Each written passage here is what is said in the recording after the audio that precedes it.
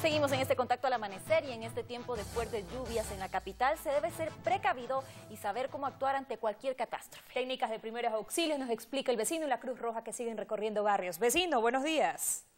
Mi vecina María Isabel, muy buenos días. Mi vecina Denise, muy buenos días. Como usted le dijo, mi vecina Denise, efectivamente los vecinos tienen que estar eh, atentos y capacitarse en lo que tiene que ver con los primeros auxilios, convertirse en voluntarios de primera respuesta. De primera respuesta. Es un nombre que no me voy a terminar de aprender, pero estamos con la Cruz Roja, ellos están visitando y a varios barrios. El segundo barrio, la Supermanzana C, acá en el sector de Carcelén, ellos van a recibir ya la capacitación. Mi vecina Silvia, cuéntenos un poco qué es lo que empezamos a trabajar, lo que estamos viendo ahora precisamente. Bueno, lo que hemos empezado a trabajar con nuestros compañeros es un poco de inmovilización en caso de que se pueda presentar una fractura.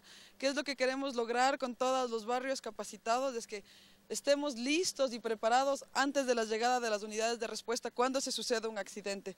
Accidentes de tránsito principalmente. Principalmente o cualquier situación que se pueda presentar en el hogar, alguna quemadura, alguna situación que comprometa la vida del paciente, que los niños dejen de respirar, que se atraganten. Cuando se convierten en voluntarios de primera respuesta, esto quiere decir que ustedes les entregan incluso un kit para que puedan enfrentar. Sí, les damos un kit de, un kit de primera Bien, tuvimos un pequeño problema técnico, pero vamos a ver si podemos establecer más adelante contacto con el vecino nuevamente, si no, pues a las 8 de la mañana en contacto.